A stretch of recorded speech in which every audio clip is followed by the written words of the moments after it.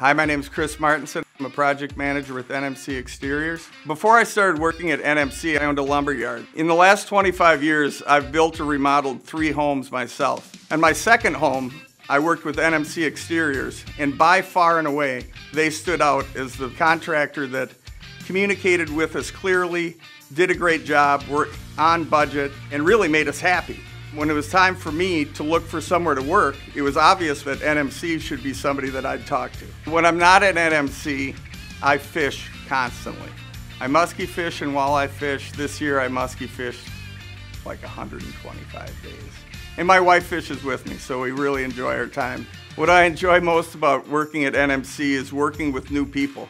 I'm a people pleaser, and so going out and finding out what excites people, what their dreams are, and actually fulfilling those is something that really gets me going.